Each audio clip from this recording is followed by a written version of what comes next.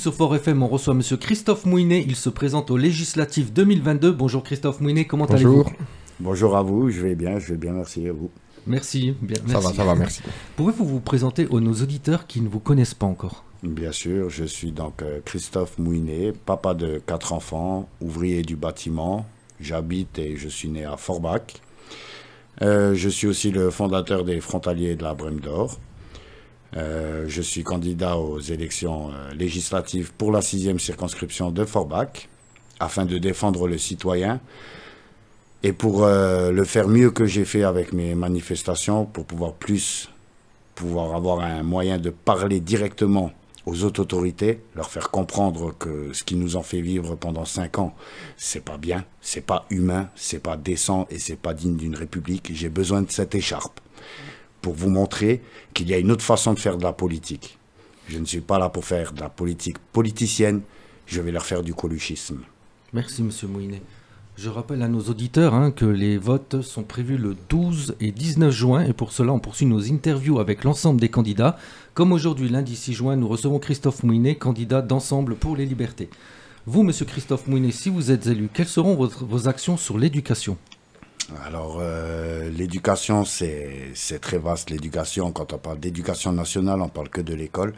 Malheureusement, euh, je pense que l'éducation euh, d'un enfant s'arrête pas à l'école, s'arrête pas. Il y a une part parents, famille, il y a une part école, il y a une grande part associative, extrascolaire, culturelle, sportive, et enfin, il y a la part de l'enfant lui-même, son caractère, sa façon de penser, sa façon d'agir, sa façon de voir les choses.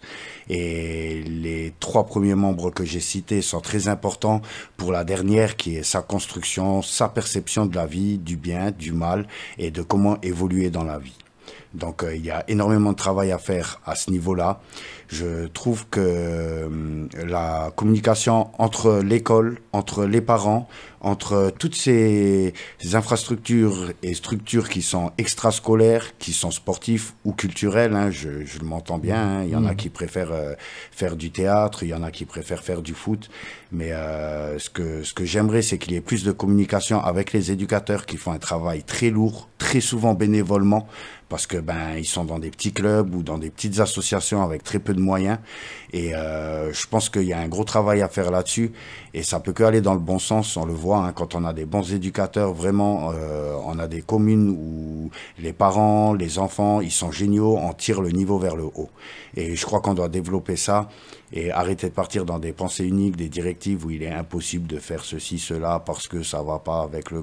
Faut, faut qu'on arrête de sortir de là. Et moi, je serais un député qui me battrait pour donner la liberté du choix, mais euh, la liberté aux parents, plus de liberté pour pas enfantiser les citoyens, parce que en fait, toutes nos directives qui sont énormément restrictives, elles sont juste pour enfant, enfantiller le citoyen, pour qu'il ne pense plus par par par sa volonté, par euh, son envie.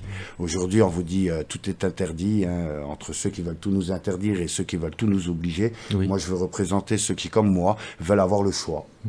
Voilà. Merci. Et quelles seront vos actions sur le RIC Alors le RIC. Moi, je propose un RIC comme en gros je propose depuis un an. Alors c'est vrai que dans la plupart des programmes euh, de tous les partis politiques hein, que que j'aime j'aime pas moi je suis pas un politicien. Donc tous ceux qui proposent le RIC ils proposent un référendum euh, c'est- très bien c'est très bien. Mais c'est quelque chose qu'on peut faire quand on est au pouvoir c'est quelque chose qu'on peut faire si on est au pouvoir si on est élu et si on est majoritaire.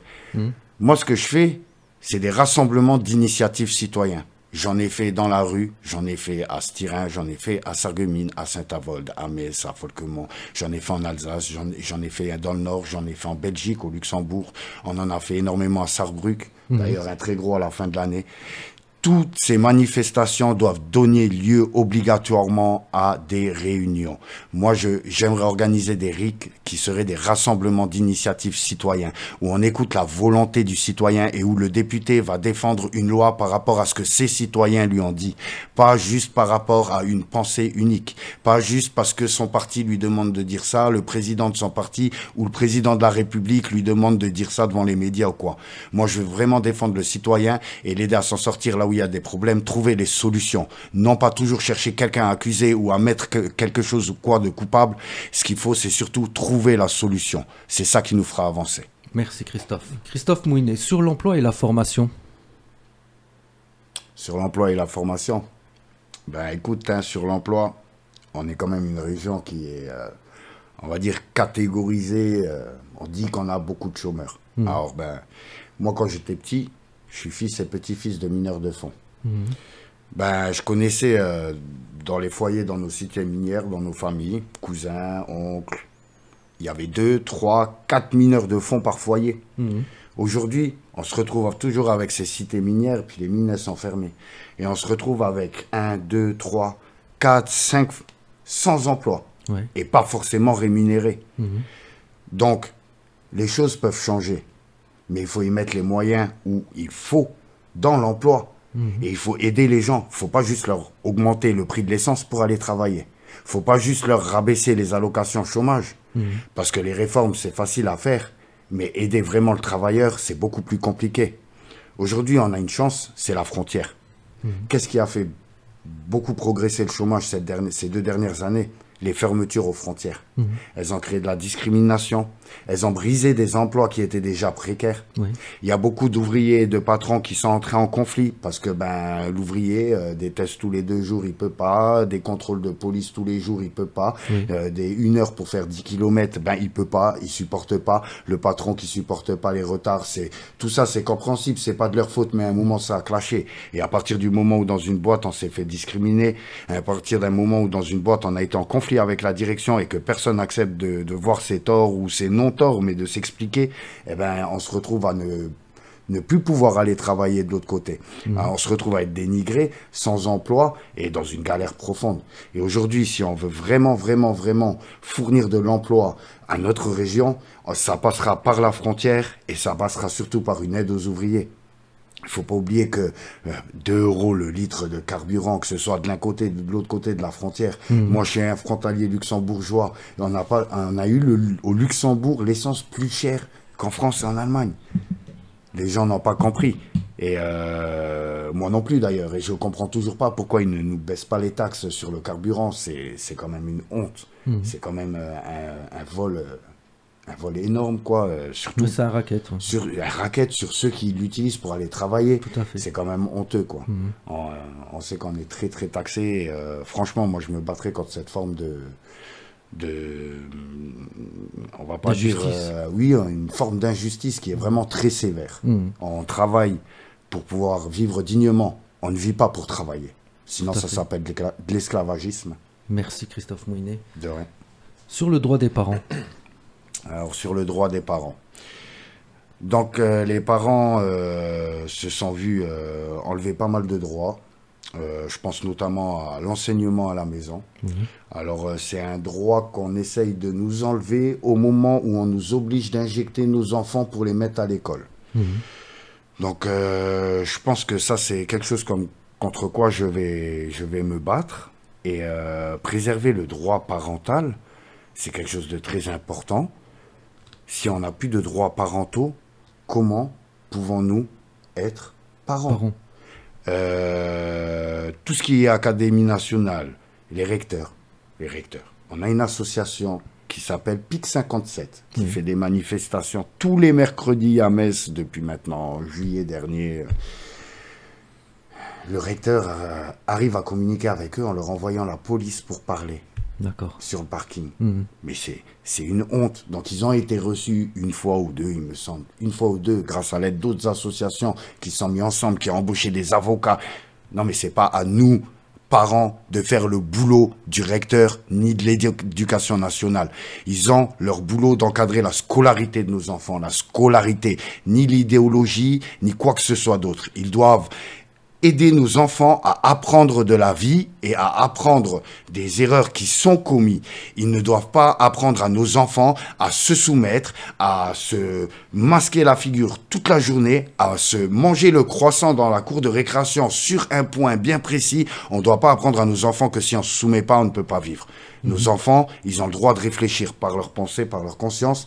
Et je pense que les profs, y, y il y a un sérieux problème, il y a un gros travail à faire. Et le seul travail qui pourra amener une solution, c'est le débat. Encore faut-il que les profs, l'éducation nationale, les recteurs, les gens concernés qui sont payés par l'argent public pour faire ce travail aient envie de le faire. Moi, j'ai envie de le faire. Si moi je suis élu, je ferai tout pour le faire dans notre région. Eh bien, j'espère que vous me voterez pour qu'on puisse faire ensemble ce débat. Merci Christophe Mouinet. Sur la Constitution maintenant. La Constitution, alors voilà. J'entends beaucoup depuis un an, beaucoup, beaucoup, beaucoup, beaucoup, qu'il faudrait changer de constitution. Moi, je ne pense pas que la constitution soit le problème. Moi, je pense que si la constitution serait appliquée, ça fait longtemps qu'on aurait déjà une autre politique en France. Moi, je pense que déjà, il y a un gros problème, c'est au niveau du Conseil constitutionnel, qui valide ou pas les décisions qui sont prises par nos gouvernements. Moi, je pense réellement que les référendums sont très importants parce que la voix du citoyen, elle ne peut que être apportée par les citoyens. Et c'est pour ça que j'ai décidé de mener une politique de coluchisme afin de ne plus laisser les gens raconter n'importe quoi, de ne plus laisser les élus nous tromper dans nos choix.